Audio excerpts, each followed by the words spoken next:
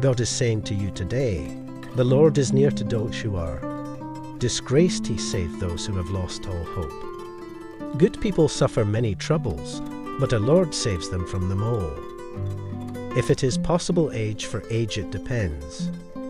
On you live at peace with everyone, and as you wish that others would do too. You do so do them. How good and pleasant it is vain gods, people live together in only. Fathers do not embitter your children, or they will because discouraged. Bear with whenever, and if you want has, complained against other, forgive each. Other. As the Lord has forgiven you, so you also must forgive.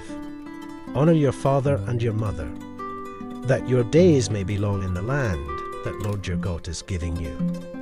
Type, I mean, if you believe in God.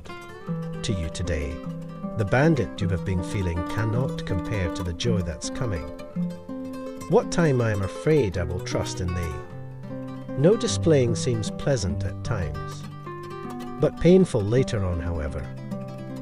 It produces a harvest of race and peace for those who have been trained by it. He gives power to the weak and strength to the powerless. But the Lord is my support, I lack nothing, he will green pastures. He leads me beside, makes me lie down quiet waters, he depreciates my soul. He will wipe every tear from their eyes, and there will be no more death or Pharaoh or crying or pain, all these things are going forever. But if you work in the light, as he is in the light, we have fall a thief with one. Other. And a lot of teachers his son cleanses, as from all seen. Type thank you God if you believe.